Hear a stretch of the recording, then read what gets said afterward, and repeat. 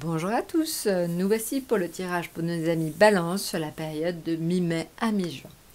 Alors, à mi-balance, on va changer un peu de jeu. Hein. Euh, euh, c'est vrai que pour l'instant, je suis restée sur le même jeu de tarot. Et pour vous, ben, on va faire une petite exception. On va changer de jeu de tarot et voir un peu ce qu'il en ressort. Alors, on va commencer donc par euh, donc les trois périodes du mois.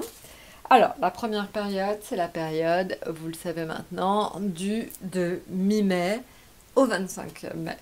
La deuxième période, c'est du 25 mai au 5 juin. Et la troisième période, c'est du 5 au 15 juin. Alors, regardons ça tout de suite. Donc, cette période de, euh, du 15 au 25 mai, on a le chariot. Alors, qu'est-ce qu'indique le chariot? Le chariot indique une accélération vers quelque chose de positif. Donc, je pense que pour vous, il va certainement, en fait, y avoir euh, donc une accélération, euh, peut-être même des choses inattendues qui pourraient vous arriver euh, un peu dans tous les domaines. Donc on verra peut-être plus tard, on a peut-être une orientation de ce vers quoi en fait on va tendre, mais pour l'instant j'ai envie de dire une bonne dose d'inattendu sur la période du 15 au 25 mai. En tout cas, ça évolue vers quelque chose de positif. Hein.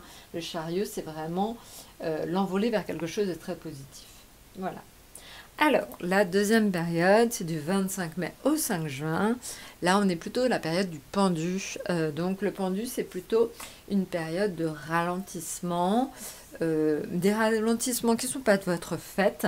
Ce sont plutôt des ralentissements de choses qui viennent de l'extérieur. C'est-à-dire que, par exemple, vous subissez des retards, des retards de courrier, euh, des retards dans les paiements. Donc, voilà, vous voyez, en fait, peut-être qu'en cette fin de mois de mai, vous aurez peut-être ouais, le salaire qui tombe un peu plus tard, les pensions qui ne rentrent pas tout de suite. Voilà, il y a une notion comme ça euh, de retard, euh, de, choses qui vont un peu vous énerver globalement, mais contre malheureusement vous ne pourrez rien faire. Hein. il y aura à subir certainement peut-être une situation. Maintenant, sur la période du 5 au 15 juin, on est sur le jugement. le jugement, euh, c'est encore une notion un petit peu de, choses inattendues. Le jugement, c'est plutôt euh, sur le fait que euh, vous allez découvrir des choses. Alors, découvrir des choses sur vous. Donc, c'est peut-être le fait d'avoir un nouveau, une nouvelle passion, un nouveau don. Vous découvrez peut-être tout simplement des dons. Ça peut être ça. Euh, il y a une notion aussi d'élu. Peut-être que vous serez l'élu du cœur de quelqu'un, l'élu par rapport à un travail, on vous attendait quelque part et c'est vous qui avez la place. Donc ça peut être aussi dans ce sens-là. Donc, ou par exemple, tout simplement, vous cherchez du travail et enfin vous trouvez et vous trouvez, c'est vraiment quelqu'un qui vous attend. Voilà, donc il y a une notion en fait de on vous attend quelque part. Je ne sais pas où, ça dépend de votre situation, mais en tout cas, on vous attend. Voilà. Donc maintenant, on va les mettre euh, toutes les trois euh, les unes à la suite des autres, à, côté des autres, et on va regarder après euh, l'affectif, le financier et le professionnel. Alors, voilà. Maintenant, maintenant en affectif, on est sur la route fortune. Le financier, on est sur la tour, et le professionnel, on est sur l'impératrice. Alors, en euh, affectif, la route fortune, ça peut être des changements de situation. Euh, ça peut être euh, peut-être des rencontres pour certains, pour ceux qui sont célibataires éventuellement. Il y a une notion en fait de passer d'un statut à un autre. ça peut être pour certains d'entre vous un mariage, tout simplement un pax. Vous allez changer de situation. Vous ne serez plus en fait exactement comme avant, puisqu'il y aura un contrat. Il peut y avoir comme ça un changement euh, de, de, de, situations affectives euh, fortes. Tout simplement, vous êtes un petit peu seul et vous retrouvez des amis, ou l'inverse. Vous étiez très entouré, d'un seul coup, vous vous retrouvez seul. Voilà, ça peut être de cet ordre-là. Maintenant, en ce qui concerne le financier, on est sur la tour. Alors la tour, vous le savez, c'est pas forcément un super bon présage dans le domaine euh, donc financier. Ça peut être des pertes financières. Donc faites attention à vous, amis balance soyez comme très euh, scrupuleux sur vos finances parce qu'il pourrait y avoir potentiellement un peu de perte financière. Voilà, après c'est pour euh, éventuellement un bien, hein. on, peut, être aussi obligé de faire des travaux, ce genre de choses, mais faites quand même attention à vous. Voilà. Maintenant, au niveau professionnel, l'impératrice. Alors l'impératrice, c'est vraiment le symbole des métiers de communication. Alors ça peut être aussi l'indication qu'il faut que vous soyez plus communicant dans votre travail ou dans vos études.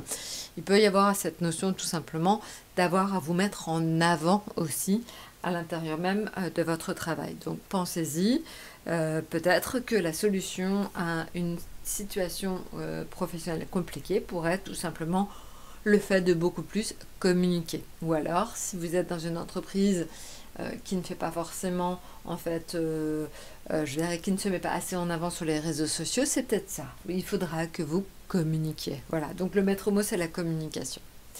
Maintenant, l'atout, en fait, pour vous, pour ce mois, donc mi-mai, mi-juin, on est sur la grande prêtresse.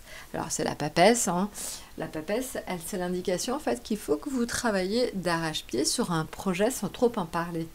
Voilà, ça peut être aussi l'indication d'être extrêmement studieux, d'être très sérieux dans vos démarches et dans votre milieu professionnel. Voilà, donc vous voyez, par contre, ça peut être aussi l'indication, la papesse, sur ce mois-là, de pas trop quand même euh, euh, montrer ce que vous avez parce que vous pouvez quand même attirer la jalousie.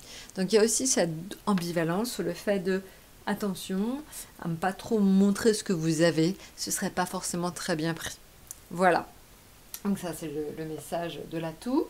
Maintenant on va prendre un oracle. Alors l'oracle, c'est l'oracle des portes de l'intuition. Alors je vais vous en sortir un tout de suite. L'oracle, l'oracle, l'oracle, c'est donc le miroir. Ça, c'est le premier message. Donc, le miroir, c'est votre vie est un miroir formidable qui vous montre là où vous en êtes.